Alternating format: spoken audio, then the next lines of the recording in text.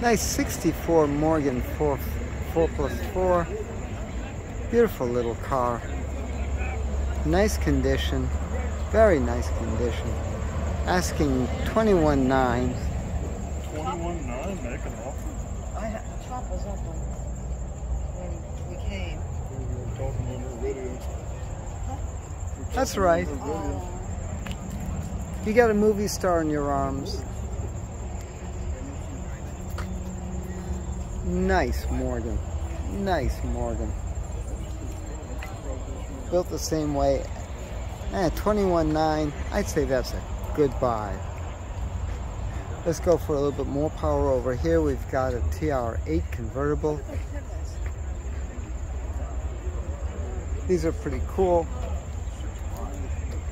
They're five speed because that's that's the way to go on these guys. That's the uh, Buick 215 engine converted over. Nice TR3 over there.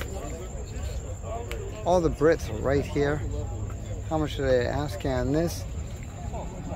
Marked down to 17.9. I'd rather have the Morgan. Oh, I pulled back. Sorry, folks.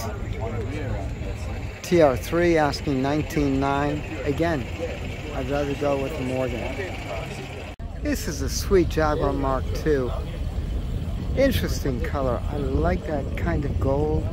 Beige to a gold. Of course, the double overhead cam 6 with the twin SUs, the enameled exhaust manifold, uh, exhaust manifolds.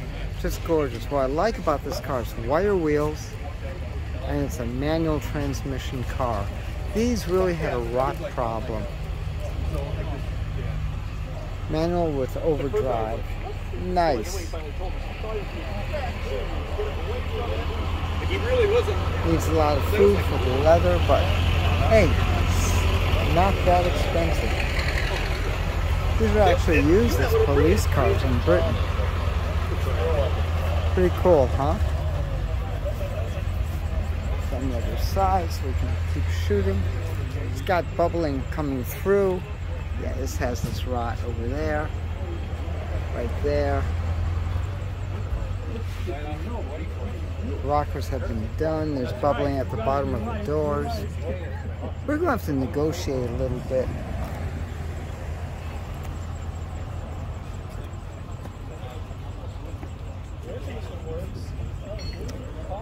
They are asking 23.5. Little MGTD. Can never go wrong with the TD. They're so much fun. That's what they're asking. Nope.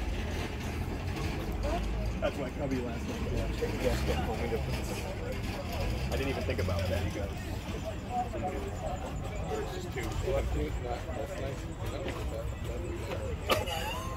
I come back. How, how you doing? Good, how are you? All right. How much you asking on a TD? 18.5. Not bad. I've had it for six or eight years, which isn't a long time for me.